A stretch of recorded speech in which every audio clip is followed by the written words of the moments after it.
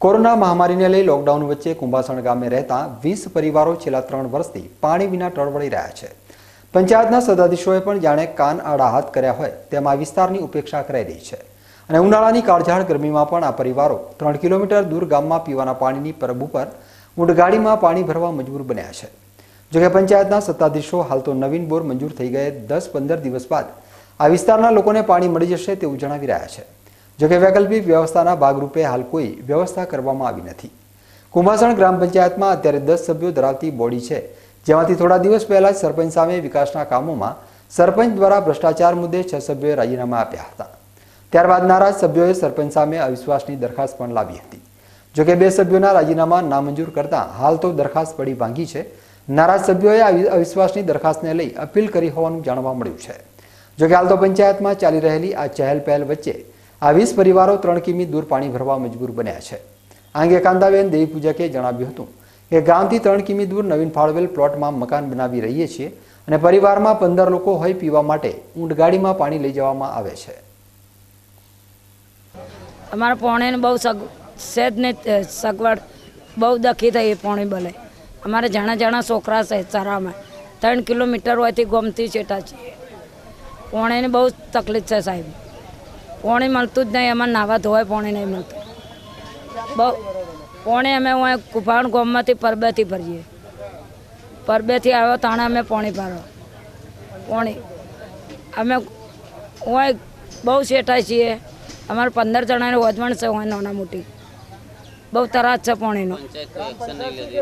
ગોમ પંચાયત અમારું વફરતા જ નહીં સાહેબ પાણીનું. પાણીની તકલીફ છે બહુ, પણ અમારું વફરતા જ નહીં. અમે ત્રણ વર્ષથી સાડા ત્રણ વર્ષથી અમે ચરામે અગાઉ સરકાર તરફથી ગરીબ પરિવારોને અહીં પ્લોટિંગ કરવામાં આવ્યું હતું. ત્રણ કિમી દૂર અહીં પાણીની વ્યવસ્થા નથી અને ત્રણ કિલોમીટર સુધી ચાલીને આ લોકો આ વિકાળઝાળ ગરમીમાં પાણી ભરવા મજૂર બન્યા છે. હાલ તો આ લોકો વગર પાણીએ ટળવળી રહ્યા છે અને સરકારે તેમને પાણી વગર જાણે મરવા છોડી દીધા હોય તેવું સ્થાનિક આગેવાનો જણાવી રહ્યા છે. કુંભાસણ ગામથી ત્રણ કિલોમીટરના અંતરે એક ચરાનો વિસ્તાર આવેલો છે જ્યાં જે તે વખત સરકારની આવાસ યોજનામાં ગરીબ લોકોને રહેવા માટેની સુવિધા પૂરી પાડેલ છે. આ વિસ્તારમાં જ્યારથી આ લોકો રહેવા આવેલા છે, છેલ્લા ત્રણ, સાડા ત્રણ વર્ષથી ત્યારથી આજ સુધી પાણીની કોઈ વ્યવસ્થા કરવામાં આવેલ નથી અને આવી કાળઝાળ ગરમી પિસ્તાળીસ ડિગ્રી ઉપર એનું તાપમાન હોય છે, એમાં આ લોકોએ ગામની જે જનરલ પરબ હોય, ત્યાં સુધી લાંબા થઈ અને પોતાની ઊંટ લારીઓ અને જાતે ચાલતા આવી અને પાણી ભરવું પડે છે. તો આ બાબતે એમને અવારનવાર પંચાયતને બી રજૂઆત કરેલી છે. છતાં પંચાયતનું કહેવું એમ થાય છે કે એ તો એમની રીતે ભરે જાય. હવે સરકારને મારે એટલું જ સત્યાધીશોને કહેવા માગું છું કે આ લોકો આવી રીતે છેલ્લા ત્રણ વર્ષથી પાણી ભરી રહ્યા છે. તો અને સરકાર એમ કહે છે કે પીવાના પાણીની ક્યાંય તકલીફ ન પડી જોઈએ તો સત્તાધીશોને મારો એક જ પ્રશ્ન છે કે આ લોકોને આ રીતે ટળવળવા દેવા કે મરવા દેવા? અગાઉ પોતાના હોદ્દા ઉપરથી રાજીનામું આપનાર ડેપ્યુટી સરપંચે પણ તેમના રાજીનામામાં બે વાર નામંજૂર કરવામાં આવ્યા હોવાનું જણાવ્યું હતું. તેમના રાજીનામા આપવાનું કારણ પૂછતા તેમણે જણાવ્યું હતું કે ગામમાં પોતાના સ્વખર્ચના નાણાં વાપરીને કામ કરવામાં આવ્યા છે, પરંતુ તેમના બિલો મંજૂર કરવામાં ન આવતા તેમણે રાજીનામું આપવાની નોબત આવી છે. અમે છ સભ્યોએ રાજીનામા મૂક્યા હતા. એમાં અમારા સરપંચે ચાર રાજીનામા સ્વીકાર્યા છે, બેના નહીં સ્વીકાર્યા. એનું કોઈ એક્શન લીધું નથી, પણ અમને બેના નહીં સ્વીકાર્યા. હું ડેપ્યુટી સરપંચમાં છું. એટલે મારું નહીં સ્વીકાર્યું એક સભ્યનું નહીં સ્વીકાર્યું એમ કે. આપવાનું કારણ એ કે અમે જે જે કામ કહીએ ને એ કામ થતા નથી. બીજા નંબરમાં કે જે મેં બાર મહિનેથી એક વર્ષથી પૈસા રોક્યા છે પંચાયતમાં, કોઈ વાધા કરાયા છે, કોઈ મોટર બળી ગઈ હોય તો બંધાય છે. એવા કામ કરે છે તો સરપંચ સરપંચ તલાટી એમ કહે છે કે આપો આપો, પણ એક વર્ષથી પૈસા મળ્યા નથી. એટલે બહુ કંટાળો આવ્યો, એટલે લોકો ગોળા ચડાવવાનું કે તો તલાટી સાહેબને આપણે કહીએ ને તો તલાટી સાહેબ કે ગોળા નહીં ચડાવવાના.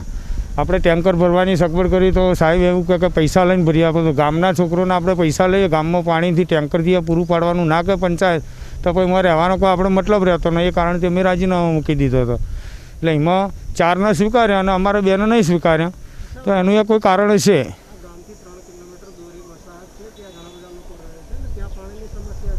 હા, પાણીની સમસ્યા છે, એ બધા લોકો રાડ પાડે છે, પણ શું એ પંચાયતમાં કોઈ બેલેન્સ નથી. એટલે અમે ટેન્કર મોકલી શકતા નથી. જો હું ટેન્કર મોકલવા જાઉં તો એ પૈસા મારા ગળે આવે. એટલે હું ટેન્કર મોકલતો નહીં, નકર ટેન્કર તો રેગ્યુલર મુકાય. એક છે પરબની પાણીની. તો માજી ડેપોડી સરપંચ આપે છે પાણી, પણ અમુક અમુક ટાઈમે આપે. અમુક ટાઈમે લાઇટ ન હોય તો ના આપે. તો એ લોકો બેઠે ગામમાં ભરવા માટે આવે છે. ત્રણથી ચાર કિલોમીટર દૂર થાય. તો આ પરું છે, એકસો સત્યાવીસ સર્વે નંબરનું. પણ એ લોકો બધા આવીને ભરી જાય છે એમ કે. કુંભાસણ ગામમાં અત્યારે સૌ વધુ કોઈ વિવાદિત હોય તો તે છે ગામના સરપંચ. ત્યારે પાણીના પ્રશ્નને લઈ સરપંચ જણાવી રહ્યા છે કે લોકડાઉનના કારણે કામ અટકી પડ્યું છે. પરંતુ આ સમસ્યા આગામી પંદર દિવસમાં ઉકેલાઈ જશે. પરંતુ પાણીની વૈકલ્પિક વ્યવસ્થા કરવામાં ન આવી હોવાની કબૂલાત પણ કરી હતી. સર્વે નંબર એકસો સત્યાસીમાં પાણીની સમસ્યા લગભગ પંદર વર્ષથી હતી. જ્યારે હું સરપંચ પદે ચૂંટાઈને આવ્યો તો પહેલી પ્રપોઝલ મારી એ હતી કે મહેશભાઈના ભલામણ કરી અને મહેશભાઈના અથાગ પ્રયત્નોથી અને એમની મહેનતથી એકસો સત્યાસી સર્વે નંબરમાં બોર પાસ કરાયો. એના પૈસા પંચાયતના ખાતામાં આવી ગયા છે અને એમાં ફાળો ભરવાનો હોવાનો હોવાથી કોરોનાના લીધે ફાળો અમને ભરી શક્યા નહીં. અને પછી થોડા સમયમાં આ દસ દિવસ કે પંદર દિવસમાં એ બોર કરવાની સમસ્યા અને ટ્યુબવેલ ચાલુ કરાવીશું. અને પાણીની સમસ્યાનું નિવારણ કરીશું. દસ પંદર દિવસ પછી ટ્યુબવેલ કે તમે કરી એને કરશો. પણ હાલ પૂરતી એ લોકો માટે વૈકલ્પિક વ્યવસ્થા શું કરવામાં આવી? હાલ પૂરતી તો એ લોકો છે ને વર્ષોથી અહીંથી ટેન્કર લઈ જતા હતા. ટેન્કરના કોઈ પૈસા પૈસા અમે લેતા નહોતા. અને એકાદ ટેન્કરની જરૂર પડે તો અહીંથી લઈ જતા હતા. પંચાયતે કોઈ વ્યવસ્થા કરી નથી પણ એ લોકો સ્વેચ્છાએ લઈ જતા હતા અહીંથી ટેન્કર ભરીને. ગ્રામ પંચાયતમાં પણ અસંતોષ છે. છ જેટલા સભ્યોએ રાજીનામા આપ્યા છે. અવિશ્વાસની દરખાસ્ત પણ આવી શું કહેશો કેમ આટલો બધો અસંતોષ છે? અસંતોષમાં એમાં શું છે? મેમોરોની મનમારી કરવા ન દીધી. બરાબર? અમુક બંડખોર મહેમત હોય મેમ્બર હોય એક બે. એમના કહેવાથી એમને મારો નિર્ણય યોગ ન લાગતો એમને એમની રીતે રાજીનામું આપવા તૈયાર થયેલા. સભ્યો તેમજ સરપંચના વિવાદને લઈ રાજકીય ધમાસણ ઊભું થયું છે અને આ ધમાસણ વચ્ચે અત્યારે ગરીબ પ્રજા પીસાઈ રહી છે. ત્યારે આ બાબતે ઉચ્ચ અધિકારીઓએ રસ લઈ કાળઝાળ ગરમીમાં પાણીની સુવિધા ઉપલબ્ધ બનાવવા માટે નક્કર કાર્યવાહી કરવામાં આવે તેવી ગ્રામજનો માંગ કરી રહ્યા છે.